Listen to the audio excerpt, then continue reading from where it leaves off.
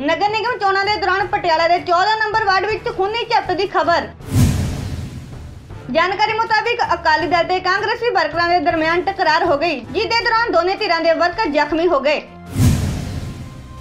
ਅਕਾਲੀ ਦਲ ਵੱਲੋਂ ਇਹ ਵੀ ਇਲਜ਼ਾਮ ਲਗਾਇਆ ਗਿਆ ਕਿ ਕਾਂਗਰਸੀ ਵਰਕਰਾਂ ਨੇ ਬੂਥ ਤੇ ਕਬਜ਼ਾ ਕਰ ਲਿਆ। ਸਥਿਤੀ ਤੇ ਕਾਬੂ ਪਾਉਣ ਲਈ ਪੁਲਿਸ ਨੂੰ ਲਾਠੀ ਚਾਰਜ ਕਰਨਾ ਪਿਆ। ਫਿਲਹਾਲ ਪੁਲਿਸ ਵੱਲੋਂ ਸਥਿਤੀ ਤੇ ਕਾਬੂ ਪਾ ਲਿਆ ਗਿਆ ਅਤੇ ਮਾਮਲੇ ਦੀ ਜਾਂਚ ਕੀਤੀ ਜਾ ਰਹੀ ਹੈ।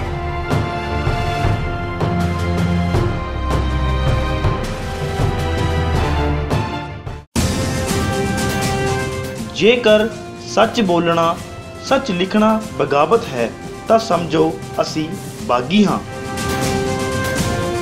ਸੱਚ ਅਤੇ ਹੱਕ ਦੀ ਆਵਾਜ਼।